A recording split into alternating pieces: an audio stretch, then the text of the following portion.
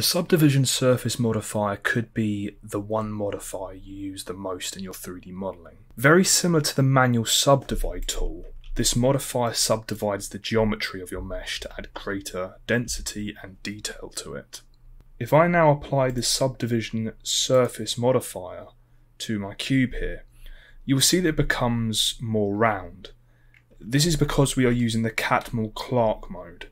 If I switch over to simple mode, it will retain the shape of the mesh. So if I just up the subdivision count here and then apply it, you will see that our mesh now has more density.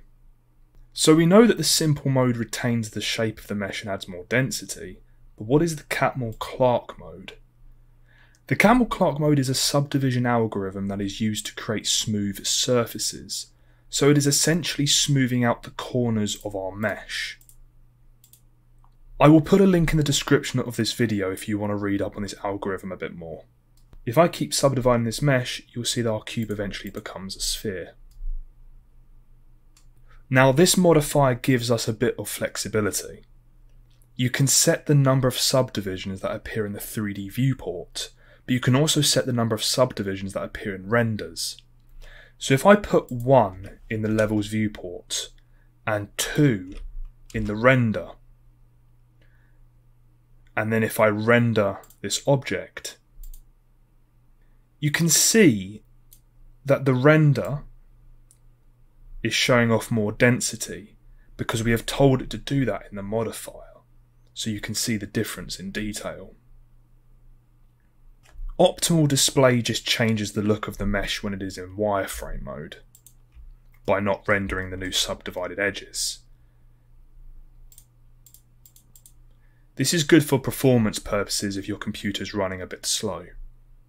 Under the Advanced tab, we have the Quality field, which just makes the vertices position more precise when subdividing. This is more easily visible on a higher subdivision level, like 4 for example. If I change the quality around, you can see how some of the vertice position is becoming smoothed.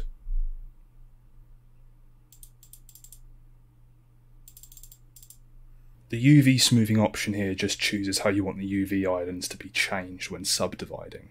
You can select smooth to smoothen out the UV islands, or you can select sharp, which prevents the modifier making any changes to the UV islands.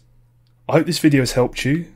If you want to see more content like this, please make sure you subscribe to stay tuned with future videos, and I will see you in the next video.